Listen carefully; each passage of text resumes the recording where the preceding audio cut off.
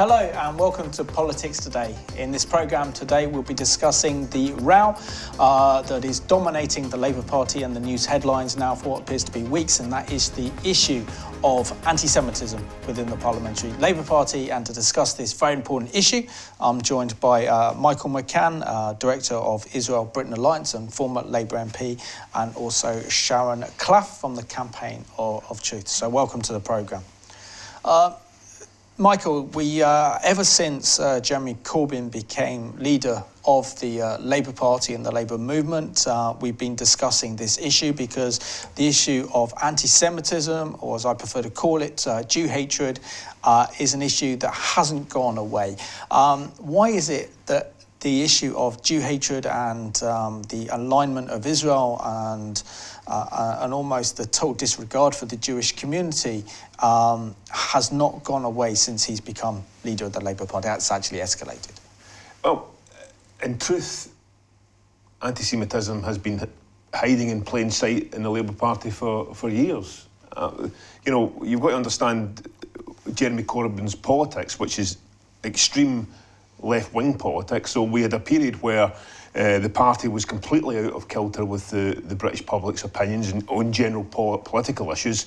When you move through uh, a period when you had Michael Foot as leader, then Neil Kinnock. And then Neil Kinnock took the party some way in terms of the uh, uh, modernisation process. Then you had the short period of John Smith before he, he passed away. And then you had uh, a completely modernist outlook from uh, Tony Blair uh, and then Gordon Brown.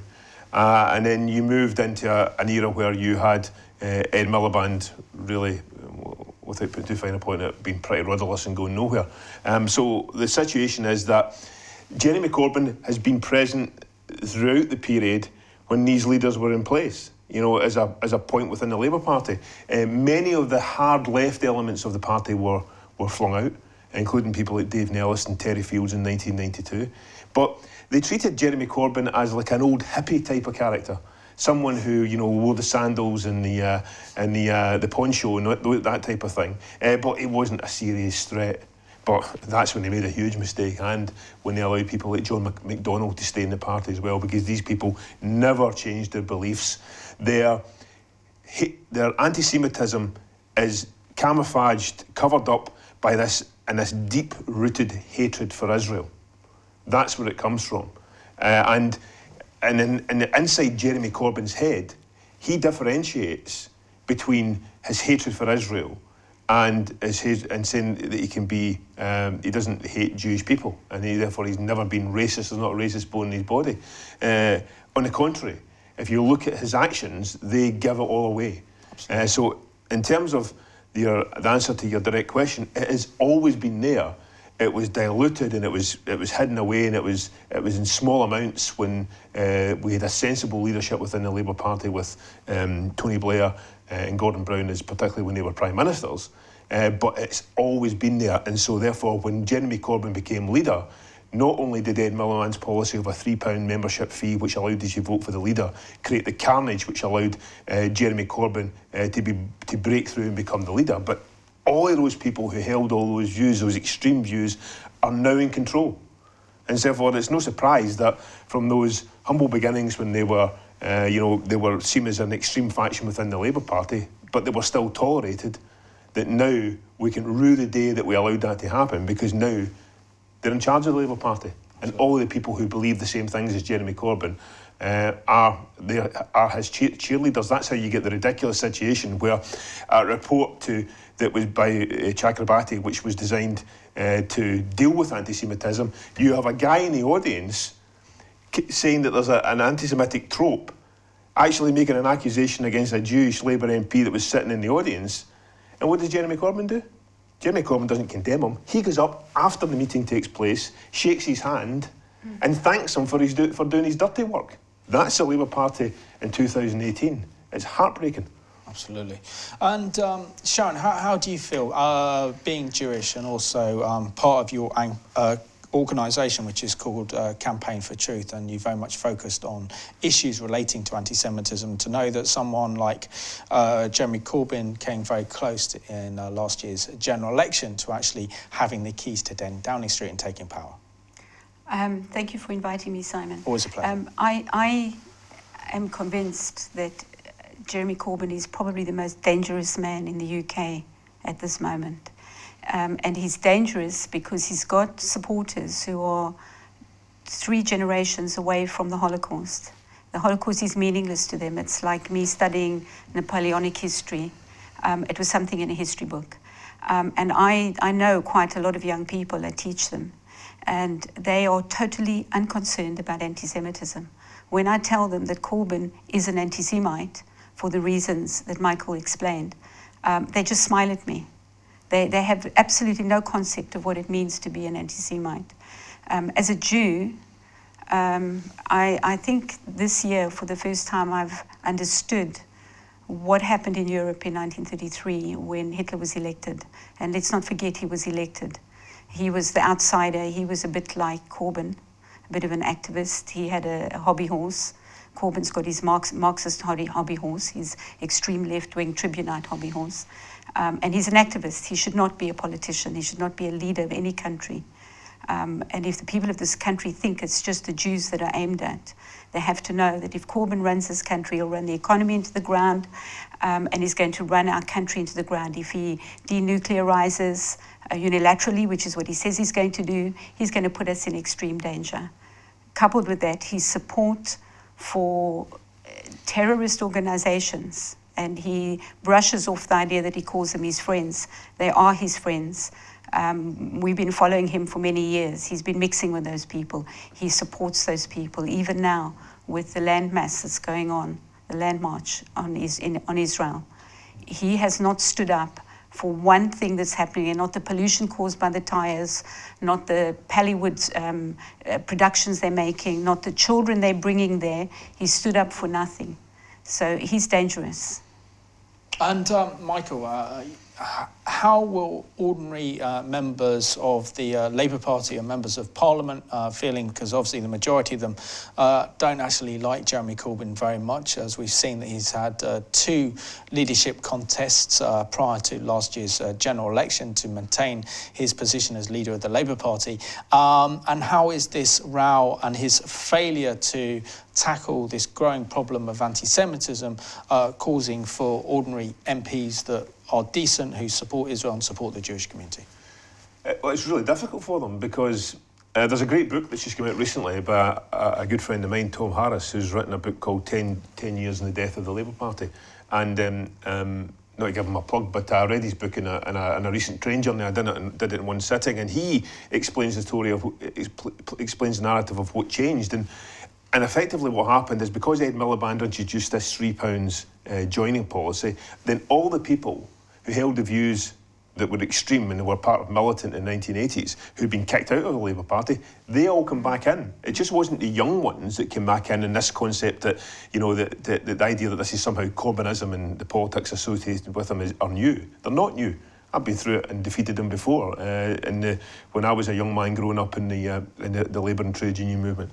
So therefore, but he's also brought in the people who were extremists back then, the older people, they've all come back into the party as well. So, in terms of the, the people who, if you look at the, the real uh, failing points within the Labour Party, the nominations process by people like um, uh, Sadiq Khan, uh, David Lammy, ironically now being targeted by Momentum in his own constituency, uh, and others who nominated Jeremy Corbyn, despite the fact that they didn't believe in his politics, allowed them on the ballot paper and made the crucial misjudgment that didn't realise that all these people that are now joining, and indeed others who joined for a bit of political fun. I know Conservatives who joined the Labour Party and voted in the leadership contest to elect Jeremy Corbyn for a laugh. It isn't a laugh now. Uh, after the result in 2017. So, in terms of those politics and, and, and them now coming to the fore, is that he has got a team around him, and it's almost cult-like. It's not like a leader of a political party. That this Jeremy Corbyn faction, which is all these youngsters who are somehow beguiled by this old man uh, who has got this wild set of politics that they, they somehow think it's going to lead them to a nirvana. In terms of, if, his politics are bad enough, you know, in terms of uh, his economic policies and all the rest of it, let, let's put them to the one side. The situation that he supports Hamas and calls them his friends, Hezbollah calls them his fr- their friends, that during this whole anti-Semitism issue that's going on and just will refuses to go away. At at that time, who does he condemn? Who does he who does he decide to interrupt his Easter holiday for? A condemnation of Israel defending their borders. But listen, we shouldn't be surprised. The guy that Jihadi John that, that cut off people's uh, heads, uh, you know, on videos, he thought that guy should have been brought back to trial. So is it as if the, the, the, British police were going to fly into sort of like uh, territory owned or controlled by uh, so-called Islamic State, and we're going to hoist this guy out in some way in order to bring him back to trial. That is a madness of Corbyn. It's completely and utterly detached from the reality and the challenges that we face in 2018, and it's and what's really the kernel of it all is this hatred, not only for the West, but hatred for people who are involved in the system. And he follows that old, uh, you know, anti-Semitic trope about uh, Jewish people being linked to the financial industry and, and being control of the press and media, something that's a complete and utter fallacy. Uh, and, and he mobilises that hatred within the group that support him. It's a really worrying time. Let's have a look now at uh, a new emerging spokesman on behalf of the uh, Jewish uh, community. And uh, this is Maureen Lipman demonstrating outside with many Jewish people outside the headquarters of the Labour Party. Said Corbyn made me a Tory. Corbyn made me a Tory. Everything you've heard, I'm going to be brief because uh, it's gone on, but everything you've heard today points to the fact that we have an anti-Semite as the head of the British Labour Party. Thank you, Maureen. That is what we have, and that is what he is doing by standing with elements that are against everything we stand for. Hard-working, hard-working, decent Jewish people of whom I am incredibly proud, who've allowed, yeah, yeah, and, and going to the Seder night was the absolute cherry on the top of Jeremy's behaviour. On the wrong night, with the wrong people behaving as we have now come to expect him to behave by doing nothing. He is telling us the same thing as he's been telling us for 30 years. He wants a Marxist party because it's worked so well in the rest of the world. I think you're all incredibly brave for risking frizzy hair to come here today. Or his crime is of not looking at not the poster, of not realizing not what the website said that he subscribed to for over two years. Is he, as Monty Python might have said, just a very naughty boy? Does his reading of Elijah's prayer, re-envisaged as fill this cup with the hope that socialism and revolution will be upon us soon, correlate with his failure to notice the cartoon, that it outgrossed the work of Grossman, or not to observe when he logged on the website, and that some of the contributors spoke about Jews in a manner contradictory to the lifelong, lifelong opposition to racism. I'm a big fan of uh, Maureen Lipman doing a great job in standing up for the Jewish community. Um, what is your response, um, Sharon, uh, to uh, to the Jewish community's uh, reaction? Because uh, we've seen a recent demonstration organised by the board deputies, the Jewish Leadership Council outside um, Parliament, uh, protesting at Jeremy Corbyn's failure to address the issue of anti-Semitism within his party, and particularly this picture that he that he commented on Facebook, which shows uh, this portrayal of uh, so-called Jewish bankers controlling monopoly board of, of, the oppressed people, which stems of those old hated uh, protocols the elders of Zion. Uh, and what have you, that the Jews control the world and the media. Um, and the only answer to that, if they did, why is Israel getting such bad media coverage? Exactly. If we do control everything, we're doing a pretty bad job of it, I think. Um, what is my reaction to the Jewish community's uh, recent actions? Um, I think it's about time that they actually did something like this. After all, that mural was on the wall six years ago, and those of us who were activists on the street knew about it, um, and we were unable to stir anybody to actually pay attention to it.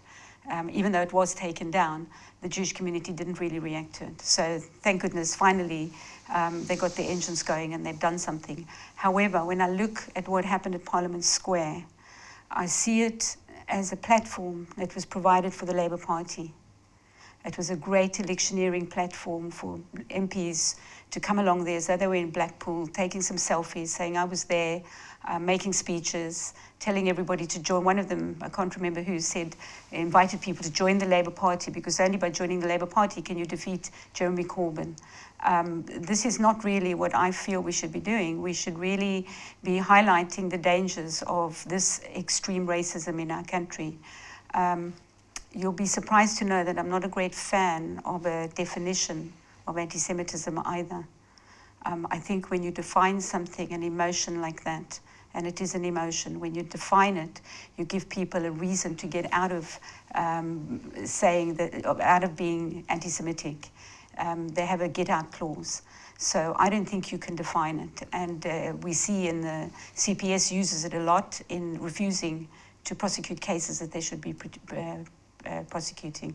So yeah, um, I'm pleased that the Jewish community is doing something. I am quite impressed about some of the speeches that took place on this last Sunday outside Labour headquarters. I think there were some very important messages that came across. And I'm hoping the politicians are listening. I'm hoping the journalists are picking up on more than Maureen because Maureen is great. She's a great voice. But there were people there speaking about the real problems that can be tackled. Um, and I'm hoping that will come through to the politicians. Absolutely. Uh, uh, and Michael, the reason why this is such a serious subject is that we know that wherever we see a rise of Jew hatred emerge in society, not only does it firstly uh, uh, uh attack the uh, Jewish people first, but also sowed the seeds for our own destruction. So the prospect of someone like uh, Jeremy Corbyn becoming prime minister with those who hold uh, violent and dangerous anti-Semitic views does not pose well for our society.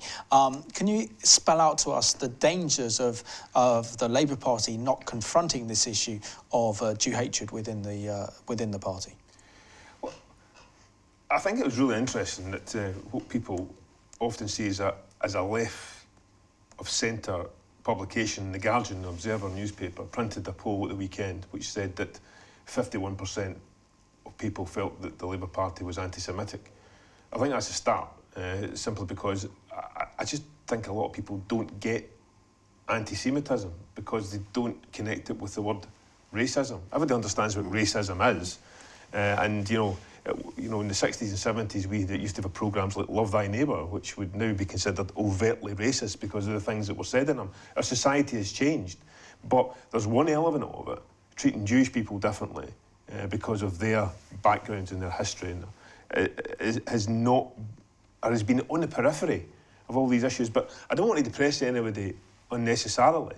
Uh, and I don't think, and I follow Sharon's logic that uh, the demonstration in Parliament Square uh, wasn't an opportunity for politicians to say, join our party.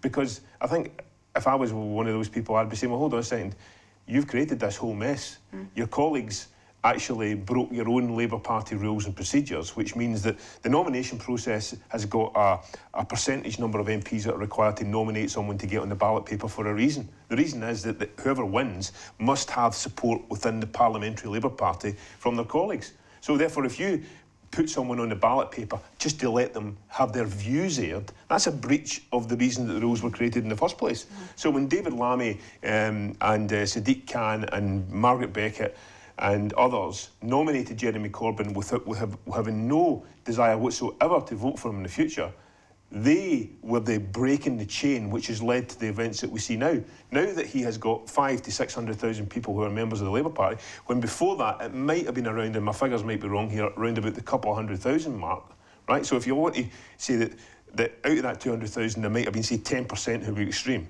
So you've got something like 180,000 people who were who were um, who were logical and, and wanted to follow Labour because they believed in Labour politics. Now you've got potentially 400,000 people who have joined the Labour Party because of Jeremy Corbyn. Now, the thing is, they don't want him to change. They don't want him to change his outlook. They don't want to change the way he behaves. They don't want to change any of his policies. And this includes this one. They believe that capitalism has to fall in the Marxist agenda that's been mentioned uh, by uh, the great Maureen Lipman. And in order to put that agenda forward, they don't mind if there's this little thing called anti Semitism because they actually believe it. They are anti Semites. And the point that Maureen Lipman made in that short clip, uh, which she kicked it off, was the leader of the Labour Party is an anti Semite. I was in, obviously, in a, in a, wider scheme of things, for a relatively short time, I was a parliamentarian for five years, but I saw Jeremy Corbyn every day. Let me say that I was never a friend of his. And I'll tell you why he wasn't a friend of mine because in one of the first speeches that I made in House of Commons, I got up and supported Israel. And immediately, uh, to take the line from that old film, The Quiet Man, my name was written in his little black book and there was a line put through it. He never once communicated with me. Now, I think that is a blessing rather than a curse. Absolutely. But nonetheless, it demonstrates that this man uh, creates his political uh, allegiances and, he, and, and, and wants his support from people who are other than having any feelings whatsoever for the state of Israel. And that says a lot about him and his, his, his thoughts and his beliefs. And the 500,000 or the 400,000 people that have joined the Labour Party share them. So I don't think it should be Labour politicians in Parliament Square urging people to join the Labour Party because I think that's I think that's lost now for a long, long time because they're now in control of the National Executive Committee. They're now in control of the procedures which select candidates in the future. And the problem is, is that all the sensible Labour MPs are cowering, cowering in a corner saying, well, what do we do now? There is no plan. That's the really worrying thing for not only British politics, but for this whole issue of anti-Semitism. And um, Sharon, do you, do you think uh, Jeremy Corbyn's uh, mask of deception is beginning to fall off? Uh, we, we, we, saw that he handled the, the Russian crisis very badly, and now he's not handling this issue to do with anti-Semitism in the, in the party's actually fueling it to make it worse. Do you think the uh, British public are now beginning to wake up and see the real Jeremy Corbyn? Um, or what's I, needed to actually see I would like to hope so, but I'm not so sure that they are because, as Michael said, his supporters are not the run-of-the-mill, sensible sort of person. His supporters are those who've been waiting in the wings to have a say in major government decisions, um, and they will push him. And I think there are enough young people and, and I, I, go back to the young people. There are enough young people to rally around him to create those numbers. Um, and yes, there are the older people who've come back on, on. What people don't know is that this weekend had two demonstrations. There was one on Saturday outside Downing Street, um, and that was the equivalent of the Land March in Israel. They have it every year in London. And um, we went along, that was our contribution. We went along to see what was going on. We go along every year. Um, and this year we decided that we weren't going to say anything to them about their policies. We weren't going to respond to the accusations about do you, they were asking us, do you agree, um, are, are you not, do you think that 16 people dead is a, is a catastrophe, 16 Palestinians? Um, so we didn't respond to that. What we did was we walked around asking people, are you Jewish? And the interesting thing was their response. The anti Semitism that came out of, good God, no, this sort of response was coming out of people and the older generation, might I say. Um, and we have them on film. So it's not a it's not a scientific study, but there they are. They were there shouting for Jeremy, who had sent in his speech. He was a coward this year. He didn't come and speak. He's been known to speak at that rally. Um, he sent in a, a, script that somebody read for him. Um, and uh, yeah, I, I think he's got enough support of people that we, we discount and we shouldn't discount them. Um, he's issued his um, local election uh, campaign. I think it was in the paper this morning. And what's he saying? One of his major issues, he's talking about the CST. Suddenly he's extolling the virtues of the CST. And suddenly he's saying how terrible it is that Jewish schools have to have security guards. Well, sorry, Jeremy, Jewish schools have always had security guards. I grew up with security guards outside my school. This is not a new phenomenon. Jews have always been under threat and he needs to wake up. And I think the electorate needs to wake up. Jeremy Corbyn cannot lead this country. As I said, not only for Jews, but for everybody. He will destroy this country. And, and Michael, um, down to the last four minutes or so of the programme, um, how should decent uh, members of the uh, Labour Party that uh, you were once part of uh, now respond to this challenge, not only of the issue of anti-Semitism within the party, but also uh, Corbyn's uh, leadership? Well, I think there are still many constituency Labour parties that will be um, not minded to support uh, Jeremy Corbyn's beliefs and where he's taken the party. The structure within the Black Labour Party is that they can have their CLP meetings, they can pass resolutions which in turn can condemn the leadership or decisions that are made. So there's there's those opportunities to take that type of action. I don't but in other areas where momentum are under control, and the point about that uh, Sharon made a few moments ago about the the older people coming back into it again, I mean, who would have heard of Jon Lansman? Who would have known who he was? Now he's the leader of Momentum and he's getting front, left and centre on, on, on programmes when they're discussing Labour Party politics. We've got a, we've got a political movement within another political movement. Right. I mean, they don't even. Trotsky advocated that you should infiltrate other parties. We've actually got another party inside another party, so it's utter madness.